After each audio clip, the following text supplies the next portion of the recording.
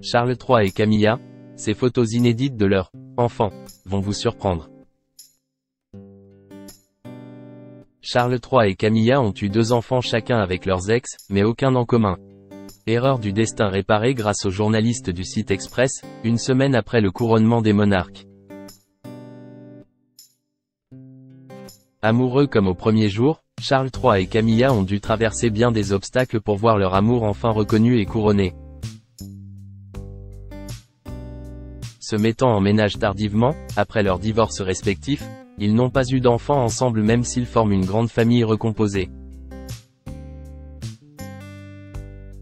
Le Daily Express s'est amusé à imaginer à quoi ressemblerait leur progéniture si elle avait existé. Et à regarder le résultat, on est finalement content de ne pas avoir droit à ces bouillies au balcon. Le générateur d'images artificielles, Baby Generator, a fait de son mieux mais il faut avouer que les visages de cette fillette et de son frère censés représenter le meilleur de Charles III et Camilla, ne sont pas très délicats. Les oreilles de Charles pour son fils, la chevelure blanche de Camilla pour la petite. Voilà qui devrait ne pas faire regretter au couple royal l'absence de descendance commune. Ils peuvent toujours se consoler avec Simon Doran Day, elle australien qui prétend être leur fils caché. Le roi et la reine amoureux de leurs deux chiens. S'ils n'ont pas d'enfants communs, le roi et la reine partagent leur amour pour les animaux.